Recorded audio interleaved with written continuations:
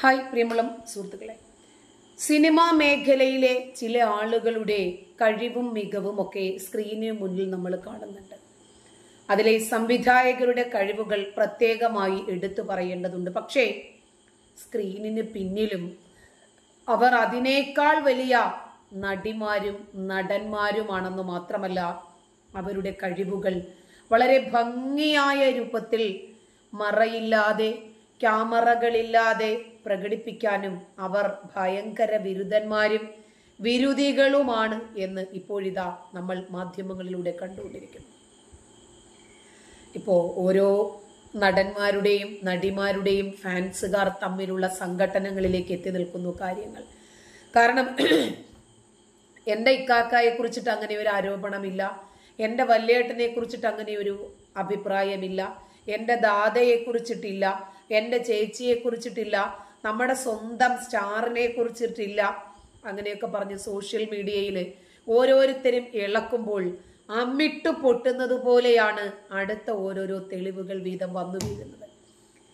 പച്ചില പഴുത്തല വീഴുമ്പോൾ പച്ചില ചിരിക്കുമെന്ന് പറഞ്ഞതുപോലെ രഞ്ജിത്തിന്റെ അവസ്ഥ കണ്ട് ചിരിച്ച പല ആളുകളും ഇപ്പോഴിതാ മൂക്കും കുത്തി വീണുകൊണ്ടിരിക്കുന്നു. ഇപ്പോ നമ്മുടെ സ്വന്തം സിദ്ദീഖാക്ക തനി മദ്രസക്കാരന്റെ സ്വഭാവം പുറത്തെടുത്തിരിക്കുന്നു. എന്താപ്പോ ഇവരുടെ മദ്രസയിലെ ലീലാവിലാസങ്ങളൊന്നും പുറത്തു വരാത്തത് എന്ന ആകാംക്ഷയോടുകൂടി കാത്തിരിക്കുമ്പോൾ കാക്കാമാരുടെ ലീലാവിലാസങ്ങൾ ഒന്നിനു പുറകെ ഒന്നൊന്നായി അവർ മദ്രസയിൽ പഠിച്ചതും അനുഭവിച്ചതും പരിശീലിച്ചതും ജീവിതത്തിൽ പകർത്താൻ സാധ്യമായ ഒരു മേഖല കിട്ടിയപ്പോൾ മികവും നൈപുണ്യവും തെളിയിക്കാൻ കഴിഞ്ഞതുമായ മേഖലയാണ് സിനിമയെന്ന് ഒരിക്കൽ കൂടി തെളിയുമ്പോൾ നമ്മുടെ സിദ്ദീഖാക്കയുടെ നൈപുണ്യമാണ് ഇപ്പോൾ പുറത്തു വരുന്നത് ചിരിച്ചോണ്ട് കഴുത്തറുക്കുക എന്നൊക്കെ പറയുന്നത് പോലെ മോളെ എന്ന് വിളിച്ചിട്ടാണ് കാക്ക കാര്യം സാധിച്ചത്.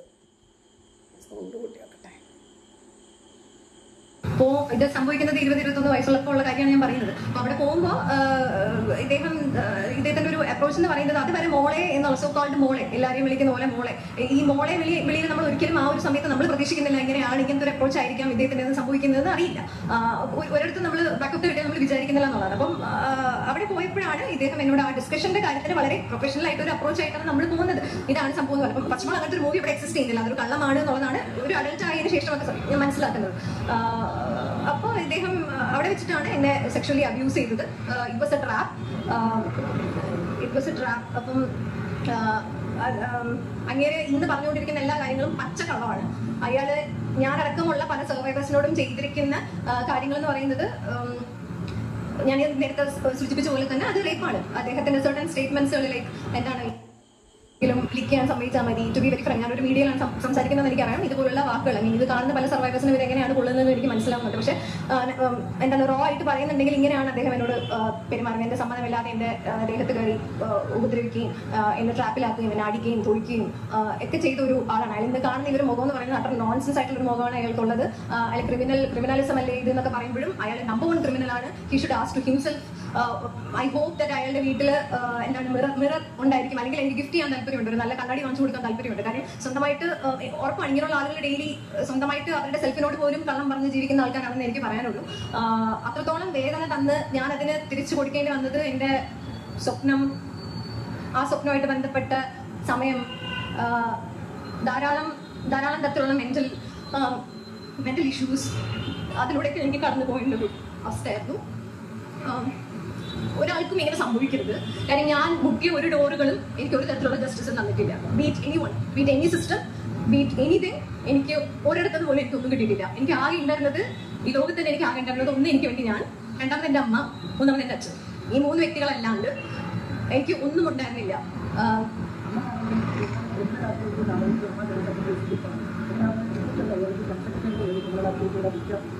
ഈ അത് ഞാൻ പറഞ്ഞു ഈ ഇസ് എ ക്രിമിനൽ എനിക്കൊരു പ്രശ്നവുമില്ല എനിക്കൊന്നും നഷ്ടപ്പെടാനില്ല. എനിക്ക് എന്ത് നഷ്ടപ്പെടാനാണുള്ളത് ഈ മൊമെന്റിൽ എനിക്ക് എന്ത് നഷ്ടപ്പെടാനാണുള്ളത് ഒന്നും നഷ്ടപ്പെടാനില്ല. അതുകൊണ്ട് തന്നെയാണ് ഞാൻ റിപ്പീറ്റ് ചെയ്ത് റിപ്പീറ്റ് ചെയ്ത് പറയുന്നത് അയാൾക്ക് അങ്ങനെ പറയാൻ പറ്റും. അയാൾ പോലെ പല ആളുകൾക്കും എം എം എന്നൊക്കെ അങ്ങനെ പറയാൻ പറ്റുന്നുണ്ടെങ്കിൽ ക്രിമിനൽസ് ഞാൻ ഒറ്റയ്ക്കാണ്. കാര്യം ഞാൻ അന്ന് മോഡലിംഗ് ഒക്കെ ചെയ്തു തുടങ്ങിയ സമയത്ത് ആദ്യത്തെ മൂവി പോലും ഞാൻ ചെയ്തിട്ടില്ല എന്നുള്ളതാണ്. അപ്പം ആ സമയം ഞാൻ ഫസ്റ്റ് നമ്മൾ ഒരിക്കലും പ്രതീക്ഷിക്കുന്നില്ലല്ലോ ചേട്ടാ. നമ്മൾ നമ്മൾ കണ്ടിട്ടുള്ള വേൾഡ് ഭയങ്കര നല്ലതായിരിക്കും നമ്മളിവിടെ നിന്നാണ് നമ്മൾ പ്രതീക്ഷിക്കുന്നത് ആ സമയത്ത്. നമുക്കറിയില്ല. എനിക്കൊരു ഗോഡ് ഫാദറോ അല്ലെങ്കിൽ ഒന്നും തന്നെ ഇല്ല. പിന്നീടാണ് ഞാൻ സ്വപ്നങ്ങളൊന്നും ഒരുത്തരം വേണ്ടി ചെയ്യാനുള്ളതല്ല എന്നുള്ള കാര്യത്തിലും കുറെ ട്രീറ്റ്മെന്റ്സ് കാര്യങ്ങളൊക്കെ എടുത്താണ് ഞാൻ അതിൽ നിന്ന് പുറത്ത് വന്നുകൊണ്ടിരിക്കുന്നത്. സ്റ്റിൽ നോട്ട് ഓക്കെ നമ്മൾ ഡെയിലി ഇതിൽ അണ്ടർ ചെയ്യുന്നുണ്ടെന്നാണ്. സോറി ഞാൻ ക്വസ്റ്റൻ വന്നു. എന്താണ് ചോദിച്ചത് ഞാൻ ഒറ്റയ്ക്കാണ് പോയത്. തുടക്കത്തിൽ അത് ഒരു ഡിസ്കഷൻ അദ്ദേഹം അന്ന് മെൻഷൻ ചെയ്ത ഒരു മൂവി സത്യം എക്സിസ്റ്റ് ചെയ്യുന്നില്ല. ഒരു തമിഴ് മൂവി എന്നുള്ള രീതിയിലാണ്. അതിനെ കുറിച്ച് സംസാരിച്ച് തുടങ്ങിയതിന് ശേഷം ആണ് ഇതിലൊരു സഡൻ അറ്റാക്ക് ഉണ്ടാകുന്നതും ഞാൻ ഭയങ്കരമായിട്ടൊക്കെ ട്രാപ്ഡ് ആണ്. ഞാൻ അവിടെ എല്ലാവരും അറിഞ്ഞ് ചെയ്യുന്ന പോലെയാണ് എനിക്ക് അവിടെ ഫീൽ ചെയ്തത്. അവിടെ അന്ന് ആ ഹോട്ടലിൽ നിന്ന് പലർക്കും ഇത് അറിയാം. അവിടെ ഒരു റെഗുലർ പ്രോസസ്സിൽ നടക്കുന്നുണ്ട്. എന്ന് ഞാൻ ശരിക്കും വിശ്വസിക്കുന്നുണ്ട്. അന്നത്തെ പല ഇമേജസും എനിക്ക് പിന്നീട് അത് ഭയങ്കര ബുദ്ധിമുട്ടാണ് സ്റ്റിൽ അപ്പം അത് സംഭവിച്ചതെല്ലാം തന്നെ അവിടെ പലർക്കും അറിയാം. ഇതൊരു റെഗുലർ പ്രോസസ് ആണ് എന്നുള്ളത് എനിക്ക് അവിടുന്ന് മനസ്സിലായി. കുറച്ച് കഴിഞ്ഞ ശേഷമാണ് ഈ അറ്റാക്ക് സംഭവിക്കുന്നത്. ഈ അറ്റാക്ക് സംഭവിച്ചതിന് ശേഷവും അയാൾ ഒരു ഉളുപ്പില്ലാണ്ട് എന്റെ ഫ്രണ്ടിൽ ഇരുന്നിട്ട് ചോറും തൈരും മീൻകറിയും കൂട്ടി കഴിച്ച ഒരു മനുഷ്യനാണ്. ഞാനത് പറയുന്നത് ഇത് രീതിയിൽ വന്നാലും എനിക്കൊരു ചുക്കും ഇല്ല എന്നുള്ളതാണ് ബിക്കോസ് എനിക്കൊന്നും ലൂസ് ചെയ്യാനില്ല. അതിൽ പോലും ഒരു സെക്ഷൽ ഫ്ലേവർ കലർത്തി അയാൾ സംസാരിച്ചിട്ടുണ്ട്.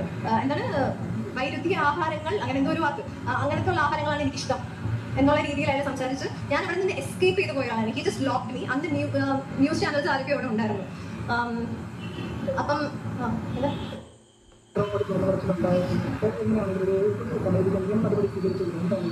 നിയമ നടപടികൾ എന്നൊക്കെ പറഞ്ഞ എന്താ? ഇവിടുത്തെ ഞാൻ ഒന്ന് രണ്ട് മൂന്ന് ആൾക്കാരുടെ നിയമ നടപടി അവരുമായിട്ട് ബന്ധപ്പെട്ട് പല ക്രിമിനൽസിന്റെ പേര് ഞാൻ ഇങ്ങനെ തോർത്ത് പബ്ലിക്കായിട്ട് പറഞ്ഞിട്ടുണ്ട്. ഒരു സ്റ്റേറ്റ് എത്തിയപ്പോഴാണ് ഇരുപത്തൊന്ന് വയസ്സ് നടക്കുന്ന കാര്യം ഒരു സ്റ്റേറ്റ് എത്തിയപ്പോഴാണ്. ഒരു മൂന്ന് നാല് കൊല്ലം മുമ്പെയാണ് ഞാനിത് പറഞ്ഞത്. അപ്പം ഇതുമായിട്ട് ബന്ധപ്പെട്ട് പല ആൾക്കാർക്കെതിരെയും ഞാൻ ലീഗൽ സോ ലീഗൽ കേസുകൾ എടുക്കാൻ വേണ്ടി മുന്നോട്ട് പോയപ്പോൾ തന്നെ ഇവിടെ എവിടെയാണ് സർവൈവർ സെന്റർ ആയിട്ടുള്ള ഒരു സിസ്റ്റം ഉള്ളത്?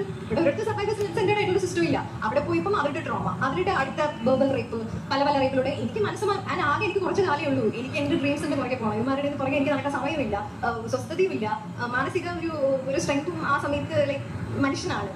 അതുകൊണ്ട് ഞാൻ പോയില്ല. രണ്ടായിരത്തി പത്തൊമ്പതിലാണ് രണ്ടായിരത്തി പത്തൊമ്പതിലാണ് ഇതുമായി ബന്ധപ്പെട്ടുള്ള എഫ് ഐ പോസ്റ്റ് ഇടുന്നത്. അപ്പോൾ പരസ്യമായി തന്നെ അതിനകത്ത് കാര്യങ്ങൾ വിശദീകരിച്ചുകൊണ്ടിരിക്കുന്നത് അപ്പൊ അതിനുശേഷം എന്ന് പറയുന്ന വ്യക്തിയിൽ നിന്നും എന്തെങ്കിലും തരത്തിലുള്ള ഭീഷണികൾ നേരിടുന്നു സിദ്ദിഖ് ഡയറക്റ്റായിട്ട് സിദ്ദിഖിന്റെ റെസ്പോൺസ് തന്നെ എനിക്ക് ഭയങ്കര നോൺസെൻസും അതിനൊക്കെ അപ്പുറത്ത് ഇച്ചിരി ചിരി വന്നൊരു റെസ്പോൺസ് ആണ്. അയാൾ പറഞ്ഞത് പിന്നെ ആ കുട്ടി എനിക്കറിയാം ആ കുട്ടിയെ ഞാൻ ഇൻവൈറ്റ് ചെയ്തിരുന്നു. പക്ഷേ സംവേർ ലൈക്ക് ലിറ്ററലി ഞാൻ പറയുന്നില്ല എങ്ങനെയാണെന്നുള്ളത് ബട്ട് സംവേർ അങ്ങനെയാണ് ഞാൻ ഓർക്കുന്നു. കുട്ടിയുടെ ഡ്രസ്സിങ് ശരിയല്ലായിരുന്നു. അതുകൊണ്ട് ആ ഡ്രസ്സ് നല്ല ആൾക്കാരൊക്കെ വരുന്ന ഒരു സ്ഥലമാണ്. അതുകൊണ്ട് ആ ഡ്രസ്സ് ഒന്ന് ഇടൂ എന്നാണ് ഞാൻ പറഞ്ഞതെന്നുള്ളൊരു ഡിസാസ്ട്രസ് കമൻ ആണ് പുള്ളി പറഞ്ഞത്. ഒരു ഇൻഡസ്ട്രിയിൽ ലൈക്ക് അയാൾക്ക് ഓൾമോസ്റ്റ് എല്ലാ സിനിമയിലും അയാൾ കാസ്റ്റ് ചെയ്യാൻ ആൾക്കാരുണ്ട്. എല്ലാ ഇത്രയും എസ്റ്റാബ്ലിഷ്ഡ് സോ കോൾഡ് എസ്റ്റാബ്ലിഷ്ഡ് ആയിട്ട് ഇയാൾ നിൽക്കുമ്പോൾ എത്രയോ ക്യാരക്ടേഴ്സ് ചെയ്ത് അല്ലെങ്കിൽ പ്രൊഫഷണാലിസം എന്താണെന്ന് അറിയാം ഒരു മനുഷ്യൻ പറയാണ് വേറൊരാളുടെ വസ്ത്രത്തിനെ പറയാണ്. സോ ഇതായിരുന്നു അയാൾ അന്നത്തെ റെസ്പോൺസ് എന്ന് പറയുന്നത്. അയാളിൽ നിന്ന് അയാളിൽ നിന്ന് പറഞ്ഞ സ്റ്റേറ്റ്മെന്റുകൾ എന്താണ്? നീ എവിടെ വേണോ ഞാൻ റെസ്പോണ്ട് ചെയ്തിരുന്നു. ഓ എന്നാൽ എന്നാൽ ആ വയസ്സിൽ പറ്റുന്ന രീതിയിൽ ഞാൻ റെസ്പോണ്ട് ചെയ്തിരുന്നു റെസ്പോണ്ട് ചെയ്തിട്ട് പോകുമ്പോൾ നീ എവിടെ വേണോ പോയി പറയാം. ഒരാളും നിന്നെ വിശ്വസിക്കാൻ പോകുന്നില്ല. എന്നൊരു സ്റ്റേറ്റ്മെന്റ് കേട്ടോണ്ടാണ് ഞാൻ അവിടെ നിന്ന് ഇറങ്ങി ഓടി ഒരു ഓട്ടോയിൽ കൈകാണിച്ച് ഞാൻ പോവുകയാണ് പുറത്ത്. ശരിയാണ്? ഹി വാസ് ട്രൂ ഒരാളും വിശ്വസിക്കുന്നില്ല പുറത്ത് പോയി പറഞ്ഞപ്പോൾ അങ്ങനെ തന്നെയാണ് എന്റെ ലൈഫിൽ നടന്നത്. ഞാനിത് പറഞ്ഞ സമയത്ത് ഒരാളും എനിക്ക് ഉണ്ടായിരുന്നില്ല ഈ പറയുന്ന ഒരു സോ പൊളിറ്റിക്കൽ ആൾക്കാരെ ലൈക്ക് പൊളിറ്റിക്കൽ പീപ്പിൾ എന്ത് വന്നാലും ഡിസ്കഷൻ ഓഫ് ഫാക്ടറിൽ എടുക്കുന്ന ഫേസ്ബുക്കിൽ ആൾക്കാരും എല്ലാവരും ഇതേപോലെ ഞാൻ എനിക്ക് ഞാൻ മാത്രമേ ഉണ്ടായിരുന്നുള്ളൂ. ഞാൻ സ്വന്തമായിട്ട് ഗെയിൻ ചെയ്ത് അതുകൊണ്ടാണ് ഞാൻ സ്റ്റിൽ ഞാൻ ഇവിടെ ശ്വാസം വിട്ട് ജീവിക്കുന്നുണ്ടല്ലോ. ഇല്ല ഇങ്ങനെ ഇങ്ങനെ ഡയറക്റ്റ് ആയിട്ട് എന്നെ വിളിച്ച് ഭീഷണിപ്പെടുത്തിയൊന്നുമില്ല. ബട്ട് ദർ മെനി കോൾസ് ഇഷ്ടംപോലെ കോൾസ് പലരും വഴിയും പുള്ളിക്കാരൻ ഒരിക്കലും ഡയറക്റ്റ് ആയിട്ട് ചെയ്തില്ലല്ലോ കാരണം നമ്മൾ റെക്കോർഡ് ചെയ്യും. പല വിഷയങ്ങളും എന്താല്ലേ സ്ത്രീകൾ എവിടെയാണ് സേഫ് ആയിരിക്കുന്നത്? സ്ത്രീകൾക്ക് വേണ്ടിയിട്ട് ഒരുപാട് നിയമങ്ങളുണ്ട്. പെൺകുട്ടികൾക്ക് വേണ്ടിയിട്ട് ഒരുപാട് നിയമങ്ങളുണ്ട്. ഇവിടെ അവിഹിതമില്ലാത്തവരായിട്ട് ആരും ഉണ്ടാവില്ല ഒരു പക്ഷേ എല്ലാവരെയും നമുക്ക് അടച്ചാക്ഷേപിക്കാനും പറ്റില്ല ഇല്ലാത്തവരുണ്ടാവാം. ഒരു പക്ഷേ പരസ്പരം സമ്മതത്തോടെ. അതല്ലെങ്കിൽ എന്തെങ്കിലും സാമ്പത്തിക നേട്ടം സ്വാർത്ഥ താല്പര്യം രാഷ്ട്രീയ നേട്ടം അതല്ലെങ്കിൽ തന്റെ തെറ്റു മറയ്ക്കാൻ ബലഹീനതകൾ കൊണ്ട് അവസരങ്ങൾക്ക് വേണ്ടി കാമം കൂടിയിട്ട് അങ്ങനെ ഒരുപാട് ഒരുപാട് കാരണങ്ങളുണ്ട്. ഒരു പക്ഷേ രഹസ്യമായിട്ടായിരിക്കും. അവിഹിതം പുണ്യമാണ് എന്ന് വിചാരിക്കുന്ന ആളുകളുണ്ട്. സ്ത്രീകളുടെ ശരീരം ഏത് രൂപത്തിലാണെങ്കിലും പുരുഷന് ആസ്വദിക്കാൻ വേണ്ടിയുള്ളതാണ് എന്ന് ധരിക്കുന്ന ആളുകളുണ്ട്. ആ സന്ദർഭത്തിൽ മനുഷ്യത്വമോ സ്ത്രീത്വമോ പ്രായമോ അതല്ലെങ്കിൽ അവരെ പരിഗണിക്കണമെന്നോ പാപമാണോ പുണ്യമാണോ പീഡനമാണോ പിന്നീടുണ്ടാകുന്ന ഭവിഷ്യത്ത് എന്താണ്? ഇതൊന്നും ആ സമയത്ത് ചിന്തിക്കില്ല എന്നതിന്റെ തെളിവുകളാണ് വർദ്ധിച്ചു വരുന്ന സ്ത്രീ പീഡനങ്ങളും ബലാത്സംഗങ്ങളും കൊലപാതകങ്ങളും ഒക്കെ തന്നെ. ഇവിടെ എന്താണ് സദാചാരം? കുത്തൊഴിഞ്ഞൊഴുകുന്ന സദാചാര പ്രേമികളെയൊക്കെ കാണുമ്പോഴാണ് എടുത്ത് കണച്ചിലിടാൻ തോന്നുന്നതിനെയൊക്കെ ഇവരൊക്കെ വാഴ്ത്തപ്പെട്ടവരാണ്. കർട്ടന് പിന്നിൽ ഇവരുടെ യഥാർത്ഥ മുഖം പുറത്തു വരാൻ ഒരു ഹേമ കമ്മിറ്റി വേണ്ടി വന്നു എന്നത് മാത്രം. ഇങ്ങനെയൊക്കെ പറയുന്ന ആളുകൾ അവർ പറയണത് തെറ്റാണെങ്കിൽ അവർ പറയുന്നത് നുണയാണ് എന്ന് ഉറപ്പുണ്ടെങ്കിൽ അവർക്കെതിരെ പരാതിയുമായിട്ട് ഇവർ മുന്നോട്ട് പോകണം. ഇത് സിനിമ സിനിമയിൽ മാത്രമല്ലല്ലോ അവിഹിതമുള്ളത് എല്ലാ മേഖലയിലുമുണ്ട് ഇന്ന് എൺപത് ശതമാനം സ്ത്രീകളും സ്വകാര്യ മേഖലകളിൽ അതല്ലെങ്കിൽ അവരുടെ തൊഴിൽ സ്ഥലങ്ങളിലൊക്കെ ഒരുപാട് രൂപത്തിൽ പീഡിപ്പിക്കപ്പെടുന്നുണ്ട്. ചിലപ്പോൾ ധാരണയോടുകൂടി ആയിരിക്കും അതാ ഞാൻ തുടക്കം തന്നെ അങ്ങനെ പറഞ്ഞത്. അത് ചിലപ്പോൾ പീഡനമാണെങ്കിൽ പോലും അവർക്ക് തിരിച്ച് എന്തെങ്കിലും രൂപത്തിൽ അവർക്കെതിരെ നീങ്ങാൻ പറ്റുന്നില്ല. സിനിമയിലൊക്കെ പോയാൽ എല്ലാവരും നല്ലവരാണെന്നോ എല്ലാവരും മോശക്കാരാണെന്നോ ഒന്നും നമുക്ക് പറയാൻ പറ്റില്ല. പക്ഷേ ഇത് ദുരൂഹതയും നിഗൂഢതകളും ഒരുപാടുള്ള ഒരു മേഖലയാണെന്നും ഈ മേഖലയിലുള്ള അധികം ആളുകളും ഈ രൂപത്തിൽ വിഷമങ്ങളും പ്രയാസങ്ങളും അനുഭവിക്കുന്നവരാണെന്നും നമുക്ക് മനസ്സിലായിട്ടുണ്ട്. പലപ്പോഴും പലർക്കും പ്രതികരിക്കാൻ സാധിക്കാതെ വീർപ്പ് മുട്ടിയിരുന്ന സമയത്താണ് ഇങ്ങനെ പ്രതികരിക്കാൻ ഒരു വേദി കിട്ടുന്നതും അതുവരേക്കും അവർ അടച്ചു വെച്ചിരുന്ന ഫ്രസ്ട്രേഷൻസ് ഒക്കെ തുറന്നു പറയാൻ കഴിയുന്നതും. നന്ദി.